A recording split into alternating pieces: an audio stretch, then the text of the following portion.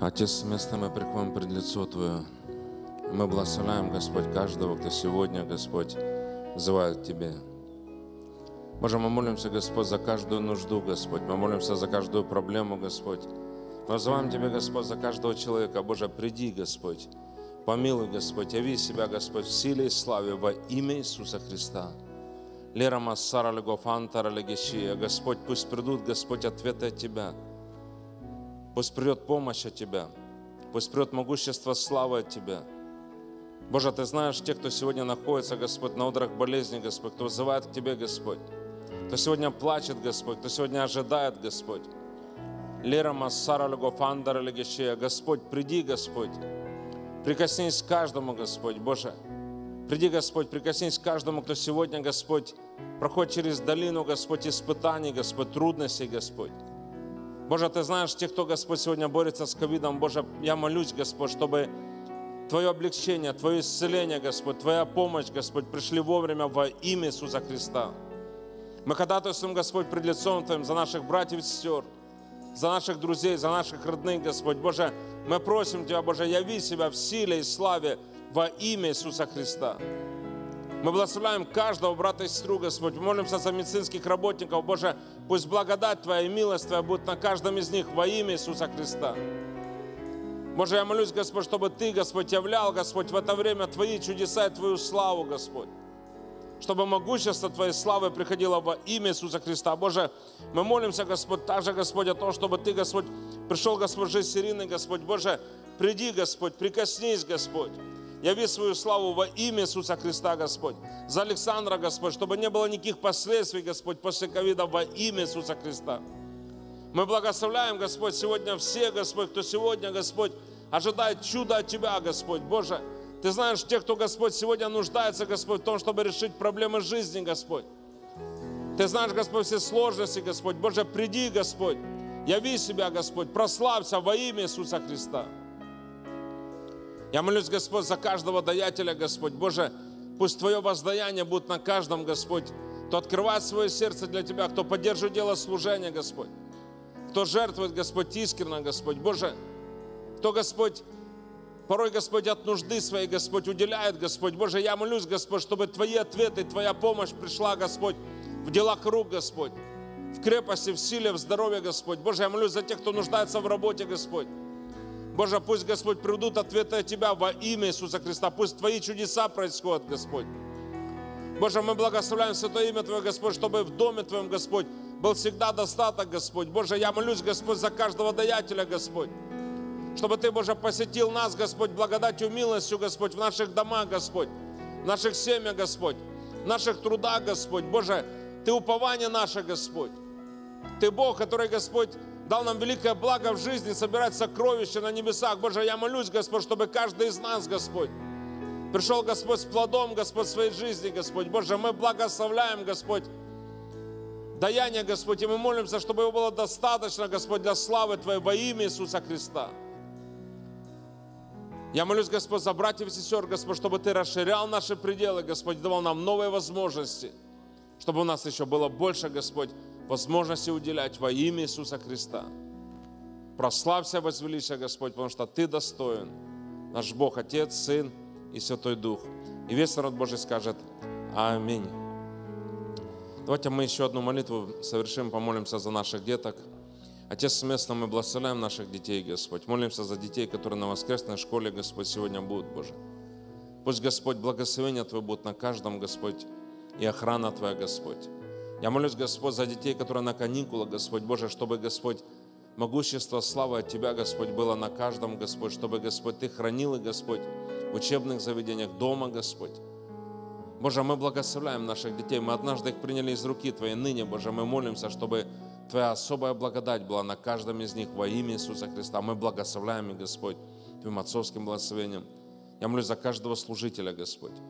Кто трудится, Господь, кто укладывается, Господь, то, чтобы, Господь, дети были в доме Твоем. Боже, я благодарю Тебя, Господь, за родителей, Господь, которые оказывают влияние, Господь, Твоего Слова, христианской жизни, Господь. Боже, я молюсь, чтобы мы были, Господь, благословенным примером, Господь, для наших детей во имя Иисуса Христа.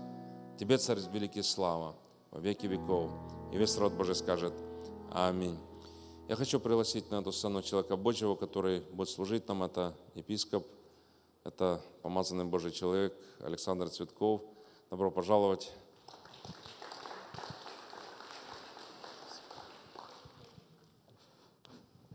Доброго раннего утра вам. Присаживайтесь, пожалуйста.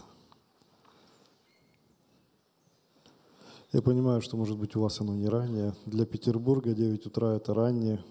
И из-за того, что наш зал ограничен, мы также сделали собрание в 9 утра. И я вижу, как героизм отражается на лицах, особенно молодежи, когда они в 9 утра находятся в церкви, служат Господу.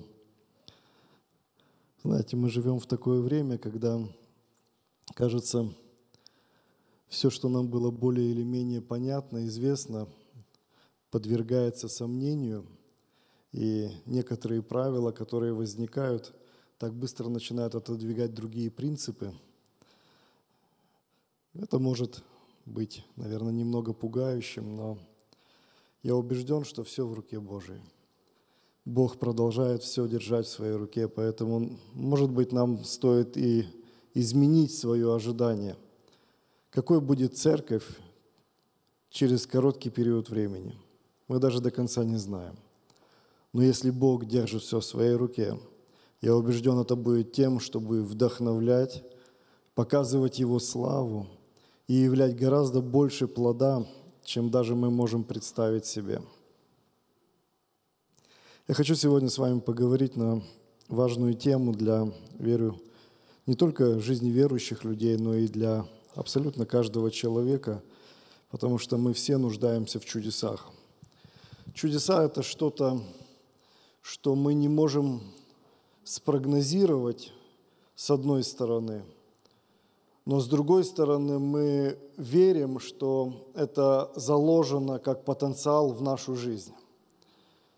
Каждый раз, когда мы проходим особенно какие-то трудные периоды, мы понимаем, что без сверхъестественной помощи Бога невозможно. И понимаем не только мы, люди, которые внутри церкви, но также это понимают и те, которые вне церкви, и они тоже ожидают этого. Многие увлечены этим ожиданием, но немногие приходят к нему. Для нас же, для верующих, сегодня я бы хотел поговорить на тему интуиции чуда.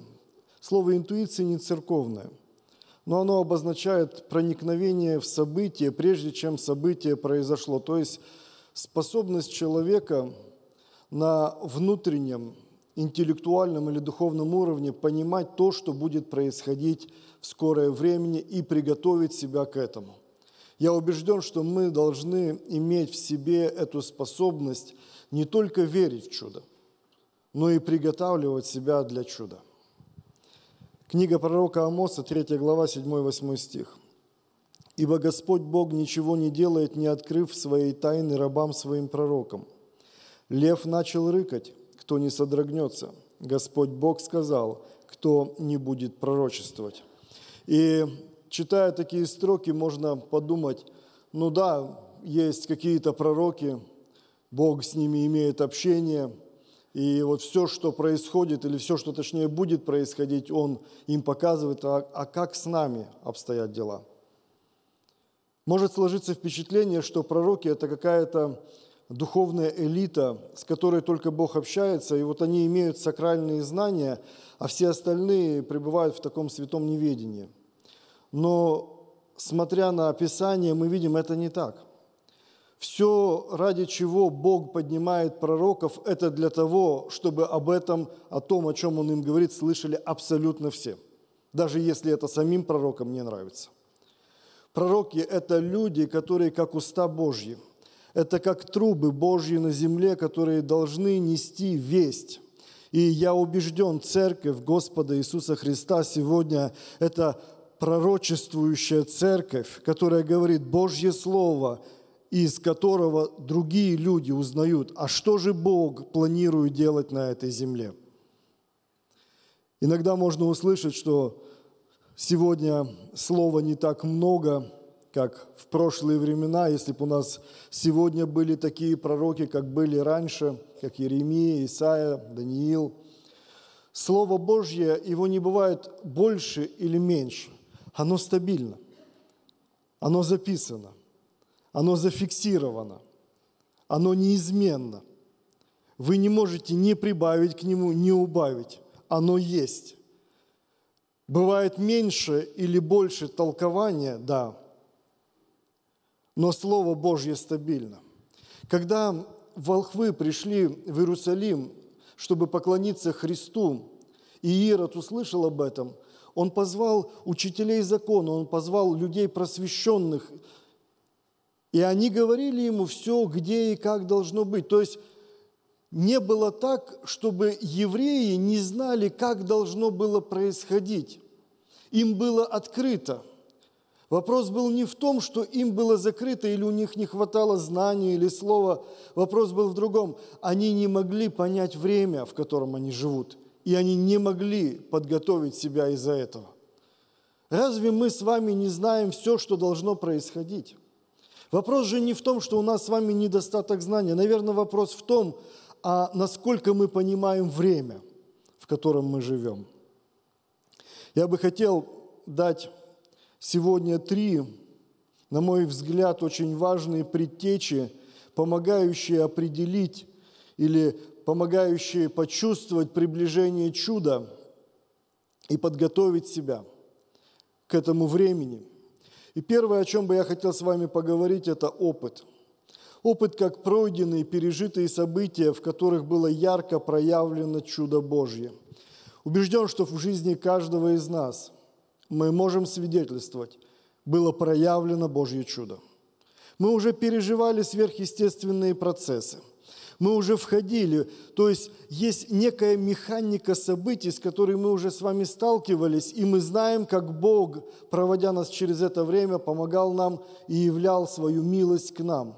Когда мы проходим новые эпизоды своей жизни, бывает, что мы отбрасываем в сторону те переживания, которые уже были, как будто они ветхие и не пригодятся нам в новом, как будто это были просто переживания младенца. Но вопрос не в том, сколько ты веровал на момент совершения чуда. Вопрос в том, что ты был способен веровать, и ты был способен получить ответ – и если ты был способен веровать и получить ответ, наверное, это можно применить к тому, к тому событию или к той ситуации, которую сегодня ты проходишь. Когда я говорю о опыте, я не имею в виду только еще наш опыт. Можно также говорить о опыте наставников, тех людей, которые, может быть, больше, чем мы пережили и видели дела Божьи. Евангелие Иоанна, 2 глава, 3-5 стих, рассказывает о чуде в Кане Галилейском. Давайте посмотрим на это чудо сегодня глазами Марии и служителей. И как не доставала вина, то матерь Иисуса говорит ему, вина нет у них. Иисус говорит ей, что мне и тебе, жена, еще не пришел час мой. Матерь его сказала служителям, что скажет он вам, то сделайте. Сам мотив обращения Марии к Иисусу уже предполагает некое откровение и ожидание в ней. Они на свадьбе. Наверное, эта свадьба была хороших, благочестивых людей. Там Иисус со своими учениками. И мама Иисуса Мария, она узнает о недостатке, которые имеют эти люди. И желая помочь, она обращается к своему сыну – но ведь само обращение, подумайте, мама Мария обращается к Иисусу, у них не достает вина на свадьбе. Ведь это обращение не предполагает, что Иисус скажет, извини, не подумал, сейчас я 12 своих пошлю, они к нам домой сбегают и принесут все, что не достает. Ведь не об этом было обращение Марии. В самом этом обращении уже была предтеча – уже было ощущение, уже было откровение. То есть она пережила раньше, чем его ученики, ощущение, что сейчас должно произойти что-то великое.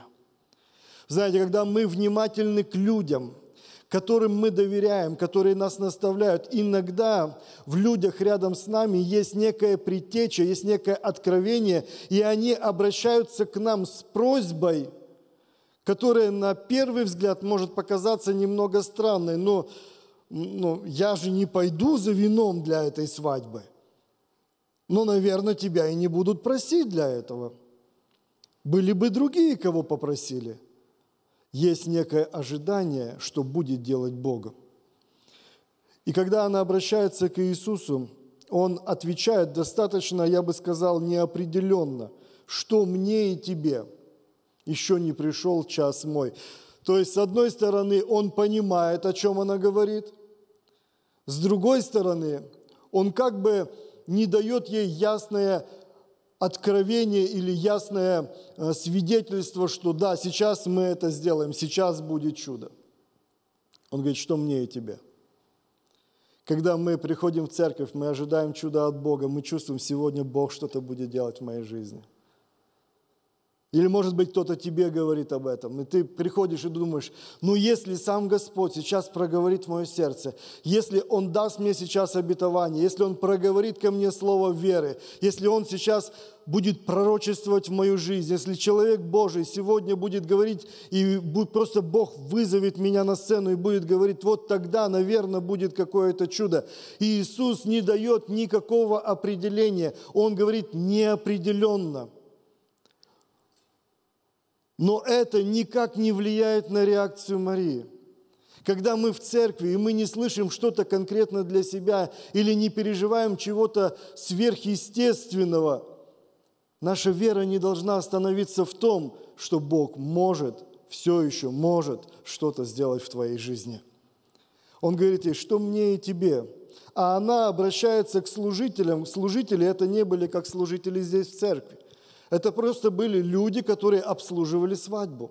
Это даже не были ученики Иисуса. Потому что ученики Иисуса привыкли, ну, если можно сказать, таким странным, э, не по разуму человеческому поступкам, которые Христос сделал, то эти служители, они не были так близко знакомы с Иисусом. И Мария обращается к ним и говорит, все, что Он вам скажет, другими словами – даже если это вам будет казаться странным, все равно сделайте. Ведь согласитесь, это странно взять воду из умывальницы и нести к распорядителю пира. Это неестественно. Это не, это не то, что непривычно, это противо даже, наверное, естественно. Когда Мария имеет такое глубокое убеждение внутри себя, она учит нас быть способными доверять некому вот такому внутреннему чувству, внутреннему пониманию, внутренней интуиции, что что-то обязательно сегодня произойдет. Но у тебя нет определения. Иисус не дал тебе определения. Я знаю, что-то сегодня произойдет. Я хочу тебе сказать, что-то сегодня может произойти в твоей жизни.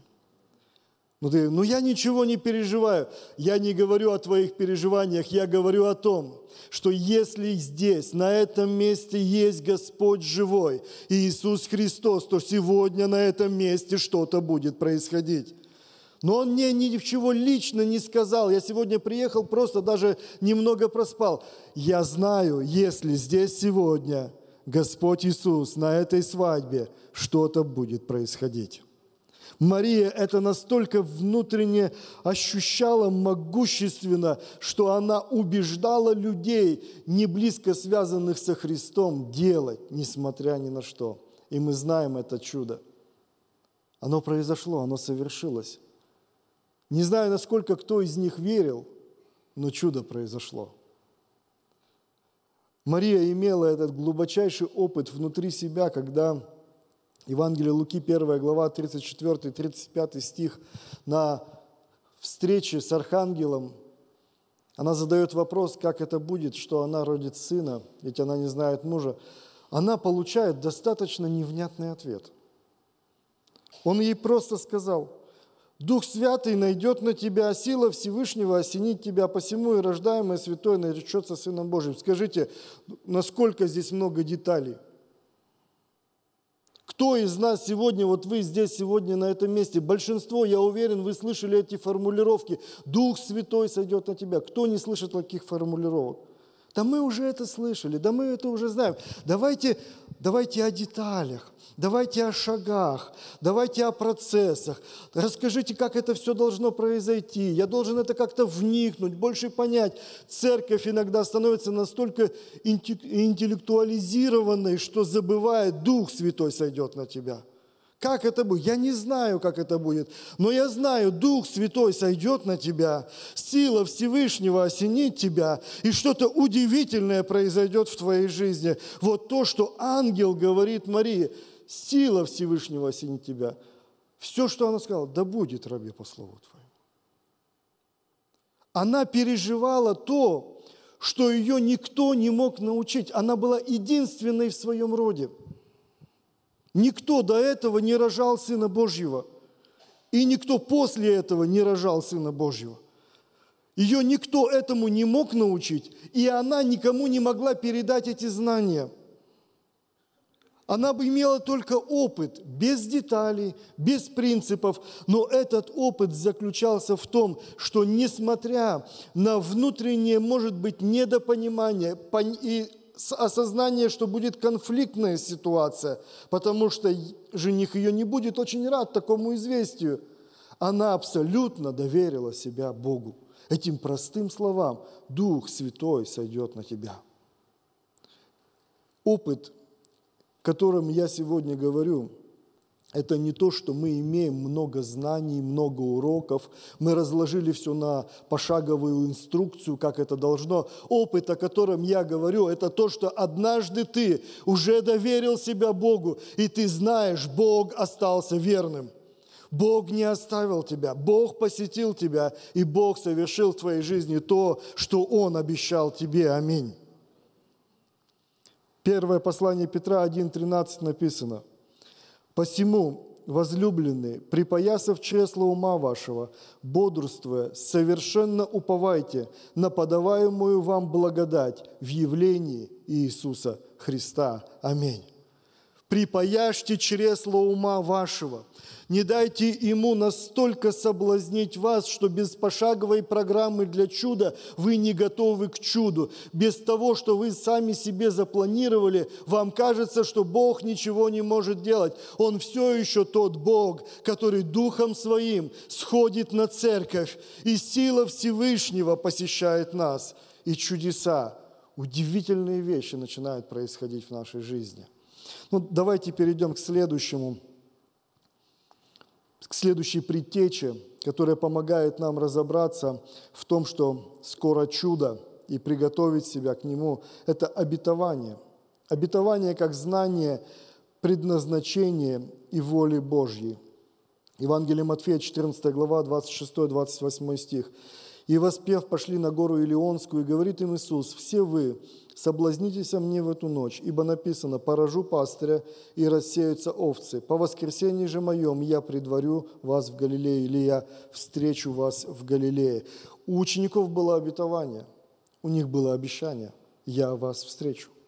Независимо от того, что вы будете проходить, а вы будете проходить сквозь самые болезненные переживания своей жизни, независимо от этих переживаний, я хочу тебе сказать, я тебя встречу. Знаете, что такое обетование – Обетование – это предтеча скорби. Нам иногда кажется, что нам надо получить обещание. Если Бог даст мне обещание, значит в моей жизни все получится. Бог дает чаще всего обещание в жизнь человека для того, чтобы когда придут испытания в жизнь человека, человек, взявшись за обещание Божье, мог пройти эти испытания. Посмотрите на Авраама. Бытие 22.8. Он идет со своим сыном. Он имеет обетование в Исааке. Сам Бог сказал ему, в нем твое семя. То есть, другими словами, через него, только через него, только через него, не через кого другого, не через Маила, только через него у тебя будет потомство на этой земле. И он идет с ним, чтобы отдать его Богу. И это не было ежесекундное решение и действие. Это был процесс, который внутри Авраама проходил сквозь стабилизацию. утрясение, переживание, огорчение, скорбь, ожидание. Так что сын, когда спрашивает его, 22.8, Авраам сказал, Бог усмотрит себе агнца для всесожжения, сын мой. И шли далее оба вместе. И это стало пророческим выражением. Когда он это говорил, это казалось просто, знаете, такое, взялся за надежду. Но позже, когда они пришли на гору, там на самом деле был агнец. И там Авраам уже провозглашает имя Господа. То, что он пророчески говорил здесь в ответе сына, там это превращается в имя его Бога. Господь усмотрит. Авраам проходил сквозь внутреннее испытание не по причине того, имел способность, что он был таким сильным духовным человеком. Единственное, что держало и в послании к евреям, 11 глава, 17 по 19 стих, там об этом говорится, единственное, что его держало в этом испытании, он знал, Бог верный, Бог ему пообещал, если надо воскресить, значит воскресить. Я не знаю, что он сделает, но он Бог, он мне обещал, он это сделает, потому что он Бог, и я пройду сквозь это, и он сделает то, что он обещал, потому что он Бог. Он имел обетование в своей жизни. И он настолько крепко держался за это обетование, что он мог смотреть сквозь смерть. Тогда еще не было воскресения. Было только вознесение еще на тот момент. Енах. Но способности к воскрешению еще ни у кого не проявлялось. Но он верил и смотрел сквозь смерть на жизнь, потому что он ожидал не то, что будет делать он, а то, что будет делать Бог. Когда Иисус обращался к своим ученикам, и они шли, и Он знал, что впереди величайшая скорбь посетит их сердце. Они увидят предательство, распятие, мучение, они будут в смятении, у них придут глубочайшие сомнения – они будут проходить самые-самые тяжелые эпизоды своей жизни. И прежде чем они вошли в эти эпизоды, он и до этого не один раз говорил, и перед своим взятием он говорит, я встречу вас. Он дает им обещание. И сам Господь Иисус, послушайте, насколько Он был пропитан волей Божией и знал, что с ним будет и должно быть, и свидетельствовал, что он имеет эту заповедь отдать жизнь, принять жизнь. Но когда он подходил к моментам испытания, написано, он скорбел и тосковал. Вот то, что я бы хотел сегодня вам поставить ударение на этом. Иногда, подходя к величайшим чудесам нашей жизни, мы не будем чувствовать радостного вдохновения. Мы не будем чувствовать сильной веры – мы будем настолько внутренне угнетены, мы настолько будем скорбеть и тосковать внутренне, что нам вообще будет казаться, что Бога рядом нету, но Он рядом, и Его обещание никуда не делось вообще. Если мы будем ориентированы на чувства, мы не сможем дойти до своего чуда, мы остановимся, мы развернемся, мы скажем, Исаак, слушай, что-то я, знаешь, как-то заблудился, давай, пошли домой, все, хватит. Мы не дойдем до того чуда, которое Бог пообещал нам, если мы будем смотреть на свое внутреннее состояние вместо того, чтобы смотреть на обещание Бога. Нам нужно иметь обетование в своей жизни – Последняя, третья предтеча, о которой я хочу сегодня с вами поговорить, это откровение. Откровение, как сверхъестественное понимание предстоящих событий и совет, как поступать внутри них. Книга пророка Исаия 11, 2, 3 говорит о том, что будет с Господом Иисусом – и почует на нем Дух Господень, Дух премудрости и разума, Дух совета и крепости, Дух ведения и благочестия, и страхом Господним исполнится и будет судить не по взгляду очей своих и не по слуху ушей своих решать дела». Позже в Евангелии Иисус говорит, «Дух Господень на мне, ибо Он помазал меня». И Он перечисляет те дела, для которых Дух Господень помазал Его. Мы имеем также с вами переживания в своей жизни, Дух Господень на мне. Многие из нас крещены Духом Святым. Мы знаем это святое переживание, мы имеем это святое переживание, но помимо того, что Дух Господень на нас, нам нужно еще, чтобы Он помазал нас – Потому что когда Он на нас, это определяет нашу сущность, это определяет нашу суть, это Его вопияние в нас, Ава Отче, это определяет то, что мы дети Божьи и наследники, сонаследники же Христу. Но Его помазание на нас определяет действия, которые мы будем совершать в разных абсолютно ситуациях. Иисус идет из синагоги, Он встречает хромых, слепых, Он встречает людей, покинутых, брошенных, никчемных, ненужных для других, и помазание, которое на Иисусе. Именно оно побуждает его делать то, что сегодня мы называем чудесами. Именно вот эта как бы активация помазания в нем, она совершает то, что другие даже в ум себе не брали. Но идет он, сидит слепой, кричит к нему, но многие бы прошли, а помазание на Иисусе не дает ему возможности пройти. Он исцеляет его. Женщина сзади или где-то э, подходит к нему, пробивается, прикасается. Многие бы пошли дальше, но помазание, которое на Христе, оно сактивировалось, оно вышло, и он ощутил это в себе. Он говорит, подождите, что-то произошло что-то совершилось, что-то случилось. Нам нужно это выяснить. Когда я говорю о откровении, я говорю о взаимодействии со Святым Духом. Ведь Дух Святой не только однажды сошел на нас, Он с нами пребывает, Он в нас будет.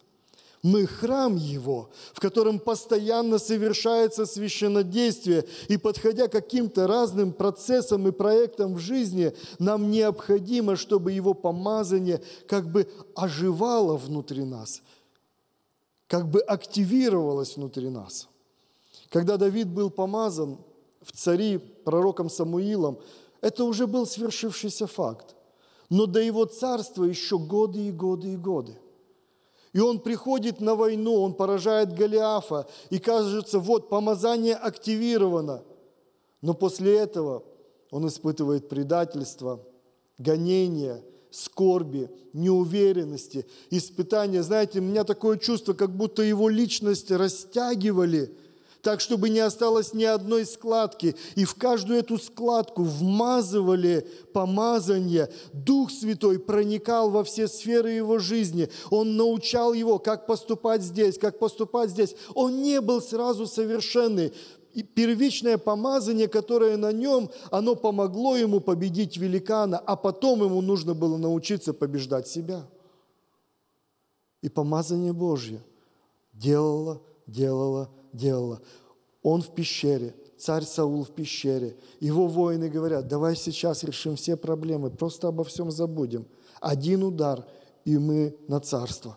Он подползает, отрезает край одежды и помазание в нем помазание в нем. Не его ум там написано, а его сердце или его дух сжался от того, что он сделал. Помазание, оно воспротивилось такому действию, и он остановился. Я не могу так поступить. Первое послание Иоанна, 2 глава, 26-28 стих. «Это я написал вам об обольщающих вас. Впрочем, помазание, которое вы получили от Него, в вас пребывает. И вы не имеете нужды, чтобы кто учил вас.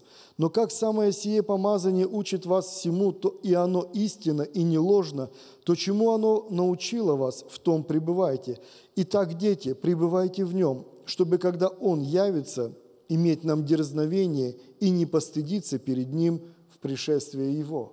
И здесь говорится не о доктринах, не о учении, а истине – Истина и доктрины были уже утверждены в жизни учеников, в жизни церкви. Здесь говорится больше о бытовых, жизненных вопросах, в которые мы с вами каждый день попадаем.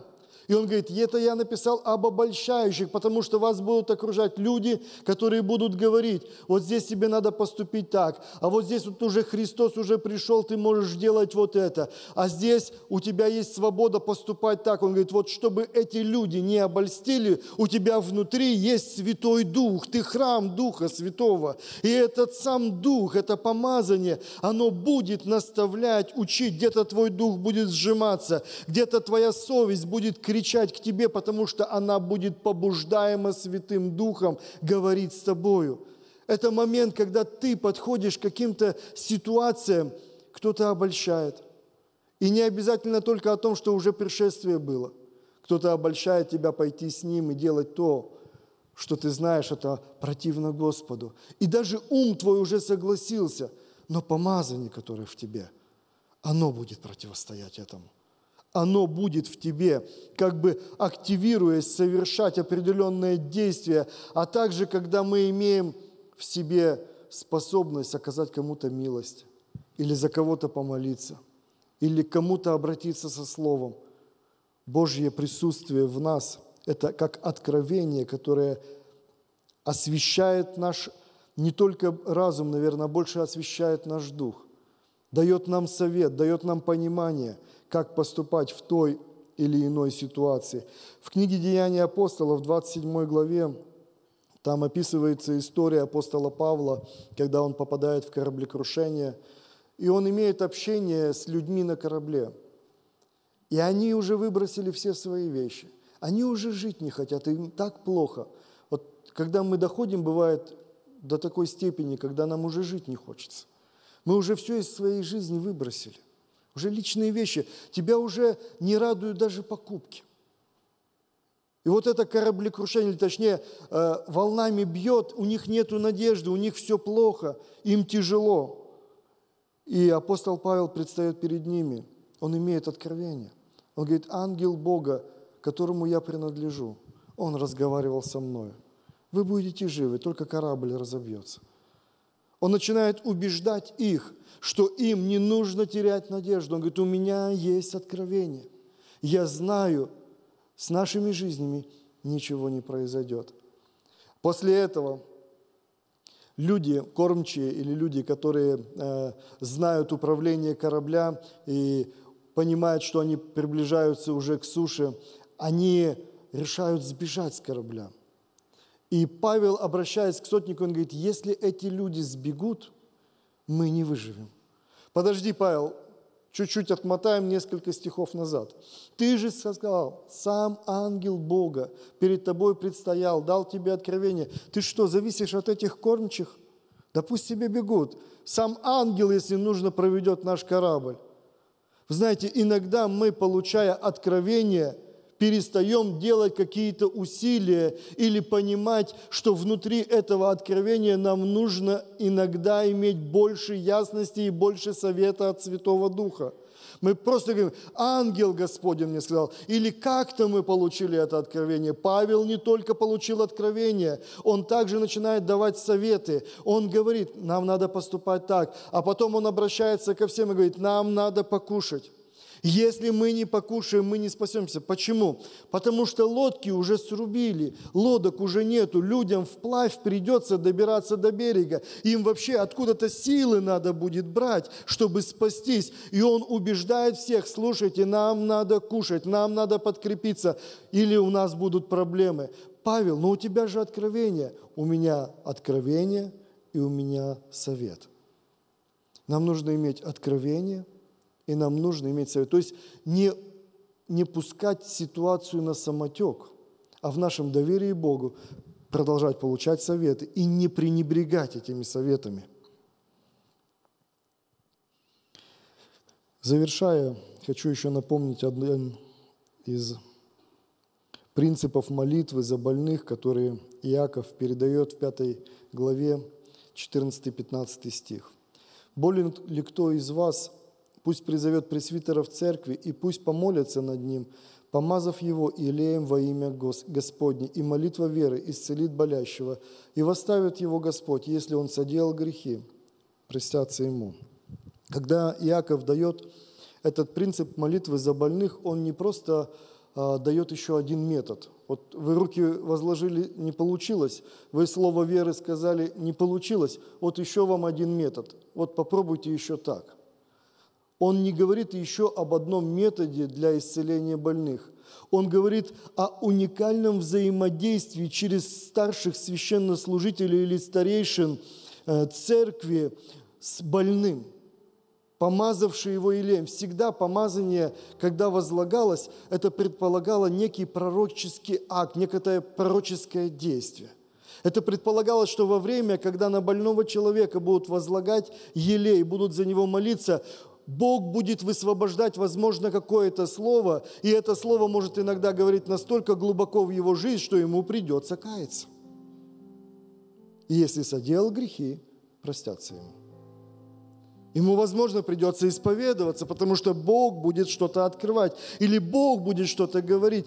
Помазание, которое будет сходить на этого больного человека, это будет больше, чем просто молитва за исцеление.